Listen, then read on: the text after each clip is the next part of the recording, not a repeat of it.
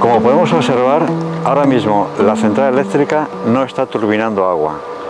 y por tanto el agua que no sale por las turbinas y que tampoco sale por la presa, sale por este aliviadero y por tanto esa cantidad es la cantidad de agua en metros cúbicos que está pasando ahora mismo por Toledo en, el río Tajo. Como puede observarse, la cantidad de agua para el río Tajo eh, es un caudal mínimo,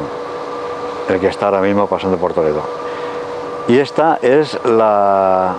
dinámica continua que tiene el río a lo largo de todo el año aquí en Toledo.